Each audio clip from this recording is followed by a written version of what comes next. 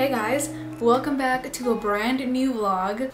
Y'all, do I have stories for you? Do I have multiple stories for you? Yes. If you haven't seen my last vlog, I talked about my gastritis diet and everything that's been going on with me and my health. I recently went to the doctor. Apparently, I was misdiagnosed. Like this whole time, I thought I had gastritis. So I had been taking multiple pills, multiple medicines to heal my gastritis and to heal my stomach and the doctor from a couple days ago told me that I was not supposed to be taking that because I indeed do not have gastritis which is what I knew in my mind that I didn't have because there's no way that I had gastritis because people who have that are people who eat a lot of spicy food are people who drink a lot and you know like it's people who have definitely felt the heartburn and all the symptoms that come with gastritis which I never felt I just felt this aching pain where my stomach was stretching. So if any of you guys know about this, let me know.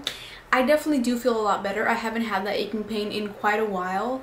So I believe the medicine did do some type of restructuring down there. I want to believe nurses and doctors and I do but at this point me searching everywhere to find an answer is so it can be so hopeless and so frustrating sometimes because you just want to get better and you just want to feel better and I know this is happening for a reason and I keep telling myself that that is happening for a reason. It seems like the stomach is the root of the problem and it is because because in Eastern medicine they believe that the gut is the second brain. So it's very important and it's very vital. So as I was going through the healing process, my left rib, like under my left rib, I started getting these pains. These pains were like, were stabbing pains, kind of like if there was a needle and just stabbing you back and forth.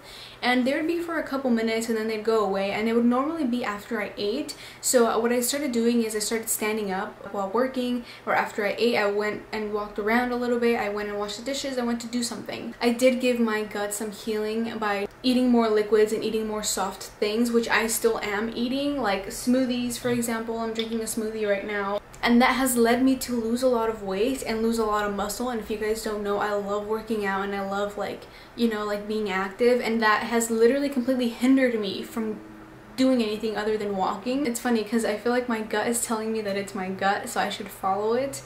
Um, so with that said, I did have a big extensive talk with the doctor the other day and he did let me know that I should be taking probiotics and I have been taking probiotics for a while but they've always been on and off which might be one of the problems why I haven't fully restructured my gut or whatever it is. So I have been taking, it's been like three days or so that I've been taking this Renew Life Ultimate Flora probiotic.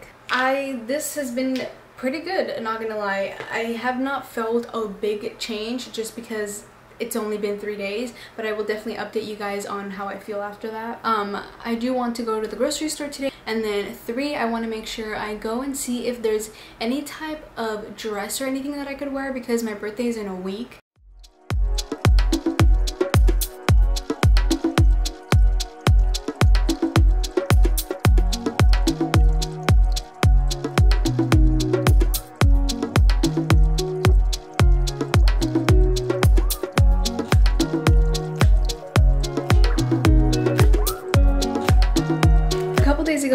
someone on TikTok talk about the expiration date on their products, like the products that they use, like makeup and stuff. And I realized I have a lot of expired makeup. If not, it should all be expired probably. Except for like my mascara and like my foundation and stuff like that. But everything else is probably expired. Like it really made me realize, wow, I have a lot of expired stuff there that I just don't use. And that's gross. So I want to make sure I clean out this drawer. It's uh, very packed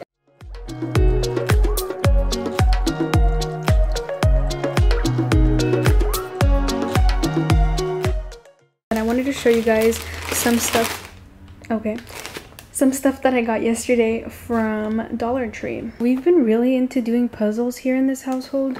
So we decided to get a couple puzzles, which are just a dollar. This dolphin one. And then we have this 500 one, which is just like a little tropical scenery. Okay, so the next thing is I decided to grab these rollers for my hair and see if I were to blow dry my hair a little bit, see if it gave me more volume. And I really want to mess with these. I put one on yesterday and it looked ridiculous. I got this Word Finds book for my mom because she loves these. And I also got these really cool highlighters, which who knew they had this like really cute stuff there. Then I got these really cute nail polishes. I got three of them from LA Colors. And then last thing I got was some hangers. And I have, I love these like non-slip hangers that are really velvety and soft. And I have them in all white in my room but throughout the years they've turned yellow. So I think black will be better. And I think once I move out I will definitely buy more black ones. Okay, so I got a little bit hungry, so I'm gonna make some lunch before I start cleaning the whole house up. So I decided to show you guys what I'm gonna be eating. I'm gonna be making some tuna cakes, and I'm gonna leave down below the link to the recipe that I received. One thing that I do different is when I don't have all the ingredients, I just kind of add random ingredients. So for this one, I'm gonna be adding some parsley, um, and I just add a little bit with some onion and stuff like that. You guys will see how it comes out. It comes out really good. It's high protein if that matters to you and it's low carb if that matters to you. Okay, so I'm gonna grab two tuna cans and then I'm gonna make sure to open these and then put them in here and then drain it out in the sink. This is what I do is after I take out all of the tuna from the cans and then I put it in the bowl, I make sure that I grab some napkins and I make sure to kind of pat dry the tuna because you want it to be dry so that everything sticks together and you're able to make the tuna patties. I have some salt, garlic powder, pepper, onion powder, olive oil, mustard, onion, parsley, and an egg or two, which makes around six to eight um, patties. And now I'm gonna chop up some onions and a little bit of parsley and then mix it all together.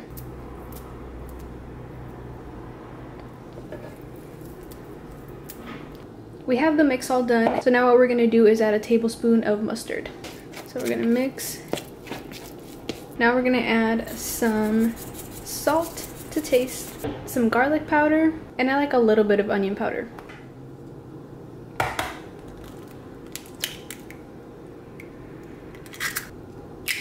So now what we're gonna do is we're gonna make this into patties and we're gonna put this on the pan.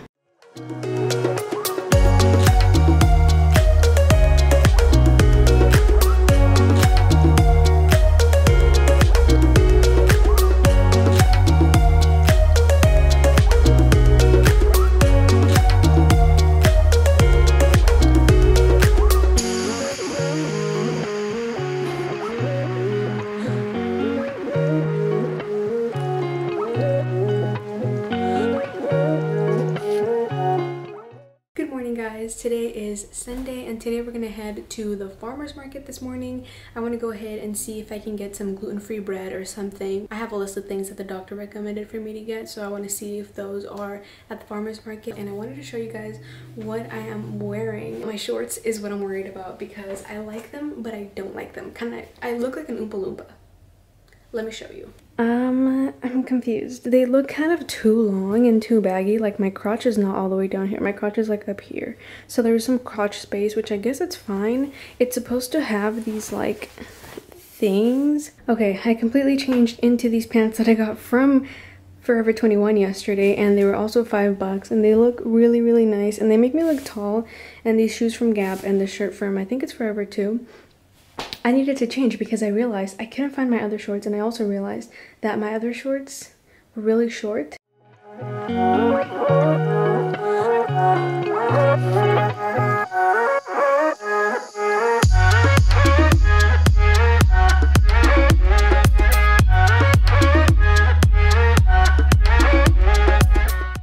Okay, so I want to show you guys what we ended up getting. We got two peaches slash nectarines.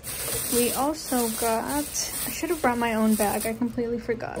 We got this really good yerba mate um, tea.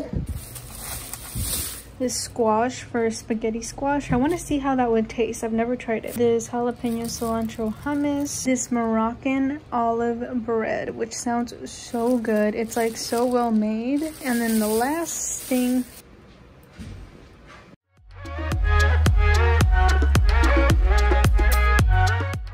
Hey y'all, I just wanted to stop by and close out this video. It's been kind of a long day of us running around, running errands and stuff like that. We're gonna close out this video and I'm gonna call it a night. So thank you guys so much for watching. Don't forget to like and push the notifications down below so you are notified of every time I post a video, whether it is a sit down video or a vlog. And don't forget to subscribe if you would like to join me in this journey. I will see you very soon. Goodbye.